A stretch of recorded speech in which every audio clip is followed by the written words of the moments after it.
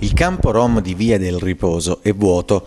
Tutti i nomadi che vivevano nella baraccopoli del quartiere napoletano di Poggio Reale, abbandonata di corsa dopo le minacce dei residenti scatenate da una presunta molestia sessuale ai danni di una minorenne, hanno deciso di spostarsi negli altri insediamenti cittadini.